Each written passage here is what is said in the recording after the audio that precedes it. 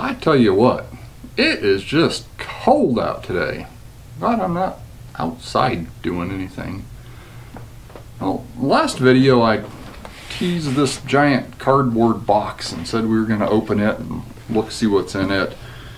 And about two years ago, according to the shipping label on the box here, I was talking to a feller on the old Facebook about reloading presses and he said, you know, I've got this one out in my garage that I don't want anything to do with anymore. If you want to pay for shipping, I'll box it up and send it over to you. So, of course I said yes, I want it. I paid $18.90 in shipping and got myself another reloading press. So, let's open this up and see what we got here. Find my industrial safety shears here. Mm-hmm. Ha! Got him.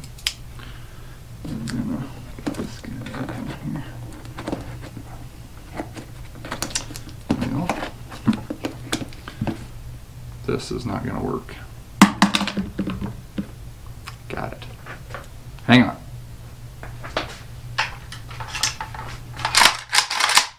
Perfect.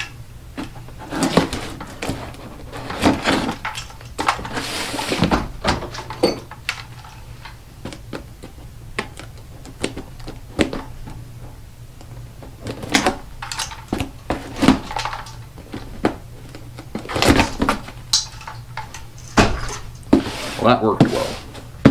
Let's see what's in here. Hmm, some paperwork. Ah, cool. And we got, ooh, that's always good, a Ziploc baggie full of parts that, uh, oh man, rats definitely pooped on those. And we got uh, a boomerang. Cool. Need a boomerang. And we got, oh, Oofta! Huh. Yeah, gross. Yeah, we've got uh, 25 pounds of grease and dirt and mouse poop with a reloading press attached. Cool. So it's not going to be a surprise to any of you guys that actually read the thumbnail that what we have here is a green machine made by RCBS. And uh, pretty good reason why I got it for free and why it's all covered in gunk. And uh, we're going to talk about that in the second part of this video. But uh, for the first one here, I'm going to clean it up and show you how it functions and a couple of my thoughts on it. Be right back.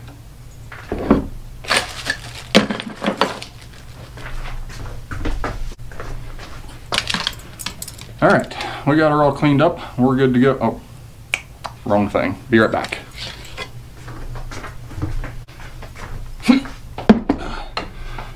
Whew. Now we're back. As you, thanks dog. I'm not trying to talk here or anything. As you can see, it cleaned up pretty decently. Ah, can't fool you guys. This is actually a completely different press. But this one was actually in much worse condition than the one I just pulled out of the box when I received it. And I'll toss some pictures kind of before and after and during the cleanup process at the end of the video here to show you how bad this guy was. So, you know, what's going on with these? Why is everybody giving them away and treating them so badly? Stay tuned for part two where I talk about that.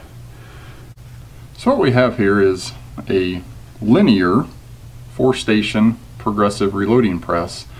And obviously this is called the green machine produced by RCBS and this only had a very brief run back in the early 80s I think they were produced from 1981 through 1985 ish so only about four year run. And they weren't the first to come across uh, come up with a, a linear style reloading press. I actually have a couple others over here, the CH and the Cougar Hunter, or two of them that predate this by quite a bit, and there's some that are even much older than that. So they didn't, RCBS didn't come up with this design, but they were kind of one of the real big names to offer this. And like I said, it only ran for a couple of years. Um, I know exactly how old this one was. Uh, this is pretty neat. Let me show you this real quick.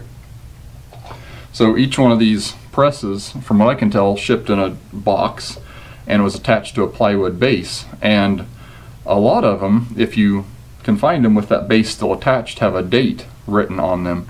And I don't know if those dates are written um, at the factory or if shops or people that, you know, consumers that bought them happen to, just a lot of people happen to date them, but a lot of them have a date on the plywood. And mine was dated 8 9 of 82, which is pretty neat.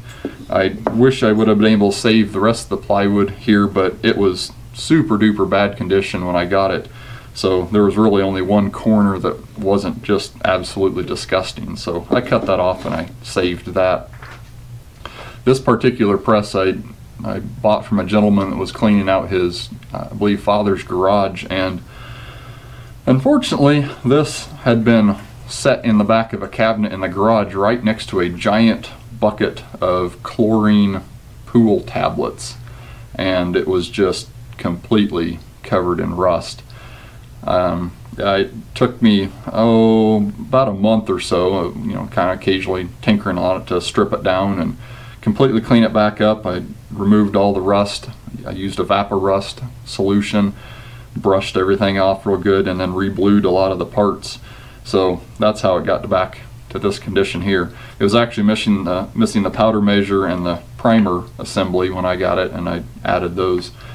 The only other thing that's missing from this press is there's actually a series of five clear plastic tubes that would attach to this case feed system and that would add a capacity of 80 total cases to this so you could run through one tube at a time and uh, effectively load 80 rounds without refilling the magazine uh, on here.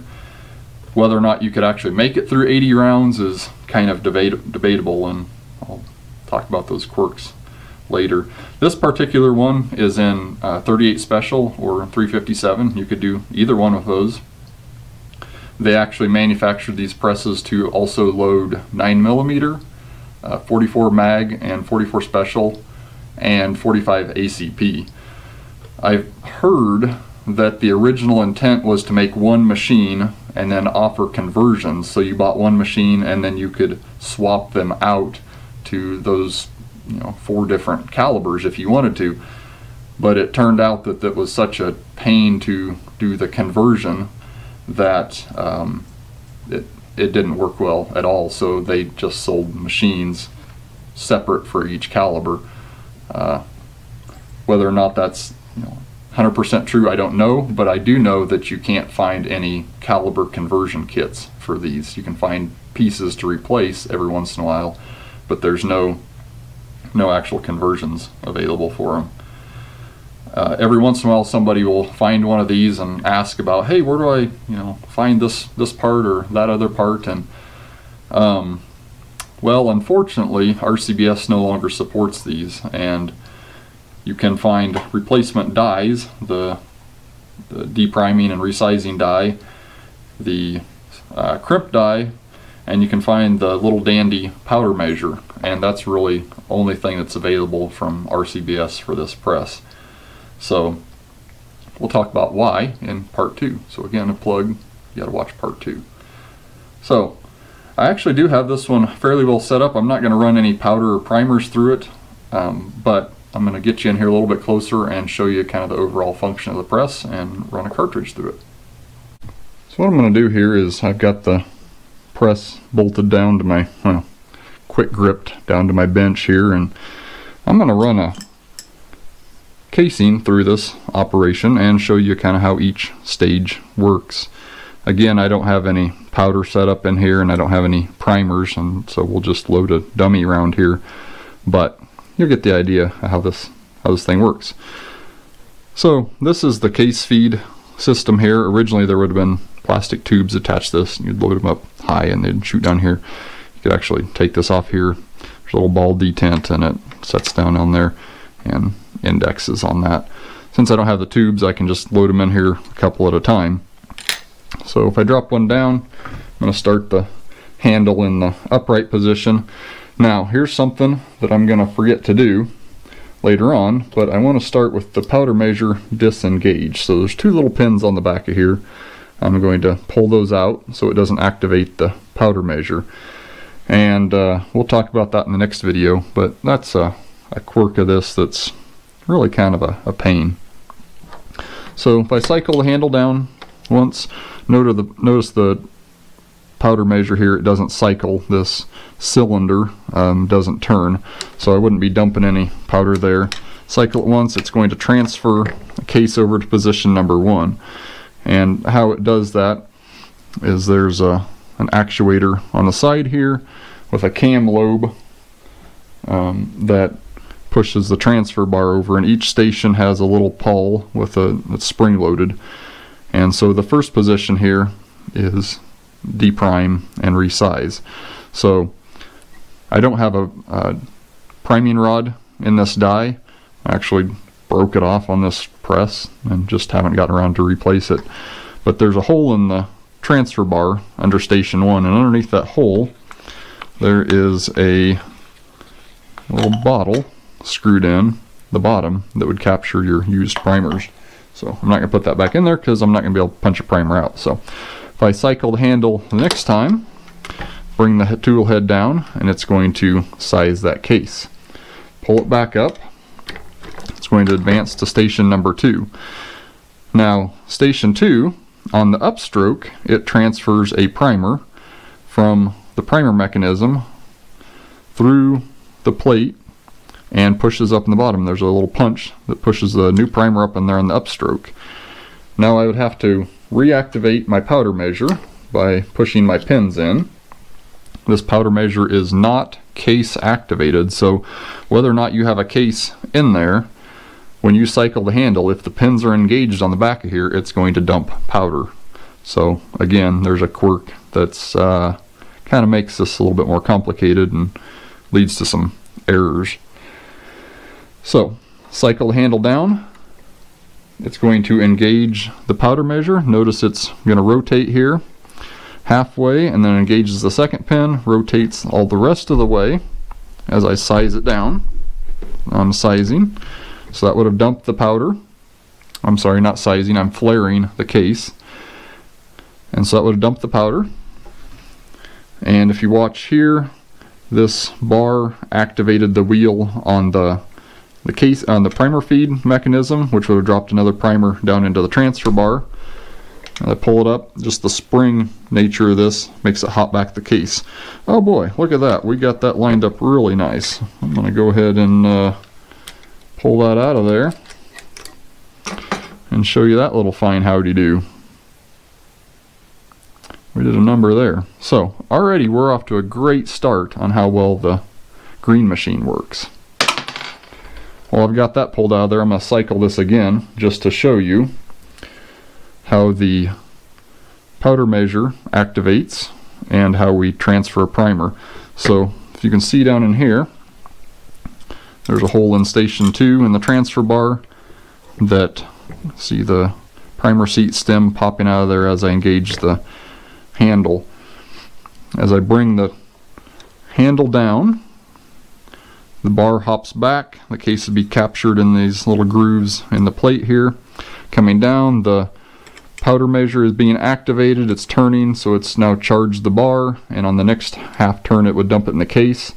The spring hits the this wheel on the primer feed mechanism, turns it, that would capture another primer and drop the next one down into the transfer bar.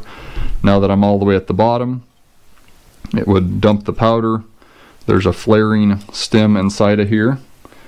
And so we'd flare the case, drop the powder, transfer the next primer over, transfer the primer there, and then as I bring the handle up, we're going to cycle the powder measure back into position. We have now transferred a new primer over. The next case has come over and we'd be pushing the new primer into the bottom of the next case. Let me track down another piece of brass and we'll see if we can get to uh, stations three and four. So I dug in my spare parts and found the expander die powder funnel. So this actually would set inside of this die.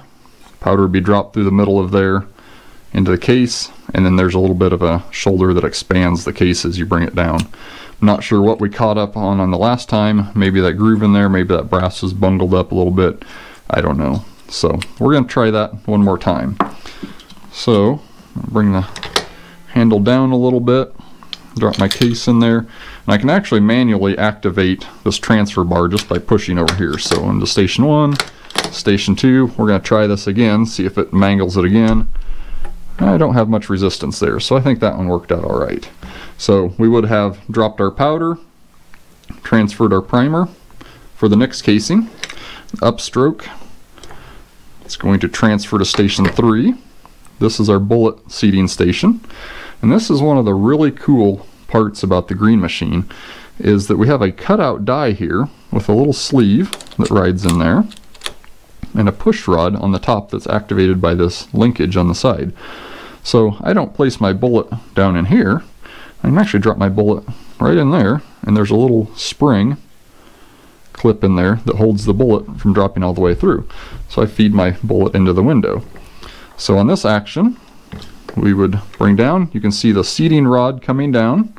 It's going to contact that bullet and start seating it into the case.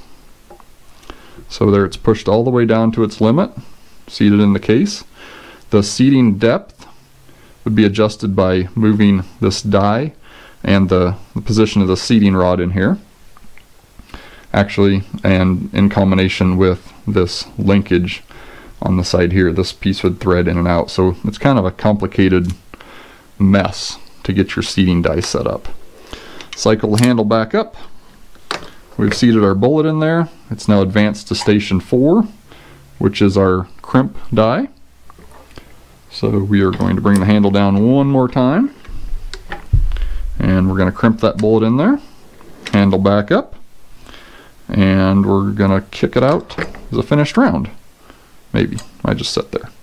But there is the process to load a 38 special on the green machine.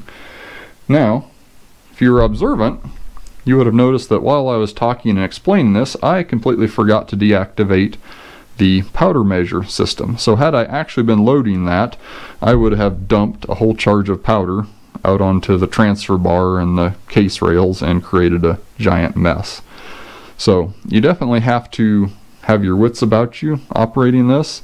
There's a lot going on. Um, there's a lot of user interaction that has to happen to make this thing operate smoothly. As you can see, I had a mess up just in trying to demonstrate it, and that's kind of been my experience with this. Uh, I've actually loaded a few rounds on this, and I can't get more than half a dozen cycled through before I have a giant mess on my hands. I know some people just have them up and running flawless, and I think I probably could get this one dialed in too if I just had a little bit more determination and I was actually intending to use it to reload, and I don't. It's kind of just a shelf piece at this point.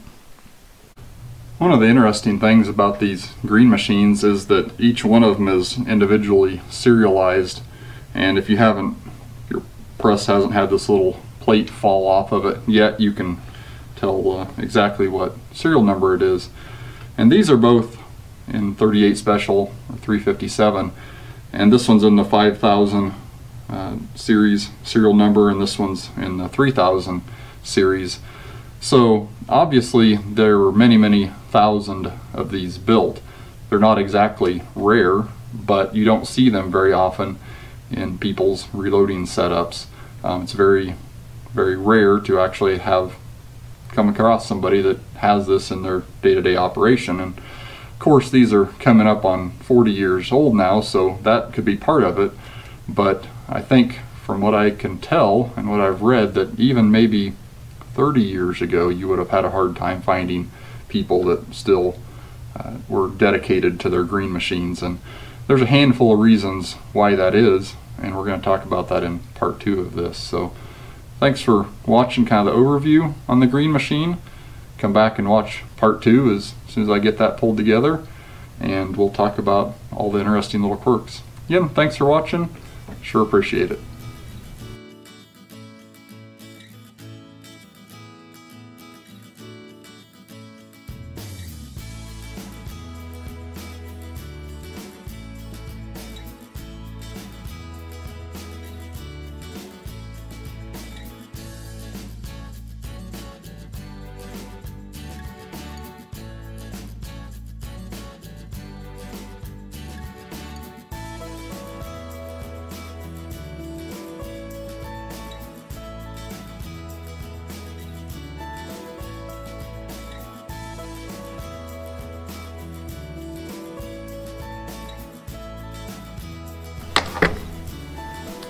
So when you advance to the third stage, oh my word, dog, you stink.